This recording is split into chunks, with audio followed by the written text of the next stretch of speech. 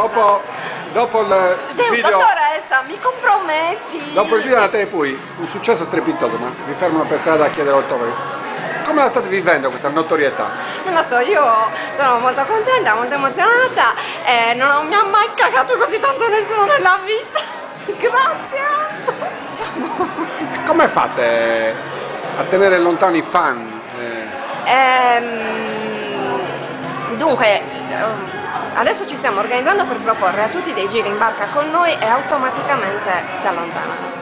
ma tutta questa fama che vi è arrivata dopo la- il canto a Natale Pui, come riuscite a convivere? Non è facile, non è facile, però d'altronde quando uno diventa famoso deve sopportare anche questo, bisogna metterlo in conto. La tua vita privata diventa leggermente pubblica e così.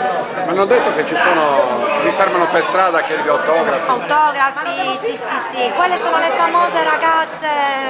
Ci sono anche i fan, sei bellissima! Vedi, vedi, non riesco proprio a tenerla a bada.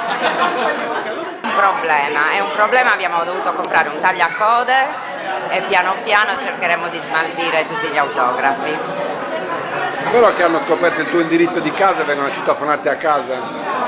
È vero, ma c'è Iena che mi difende. Ma come riuscite a gestire questo successo che è arrivato dopo il video shock di A Natale Poi? Eh, allora, ci ha già contattato un agente perché chiaramente dobbiamo curare la nostra immagine. Dal punto di vista del look siamo perfette, però qualche problemino di dizione, penso.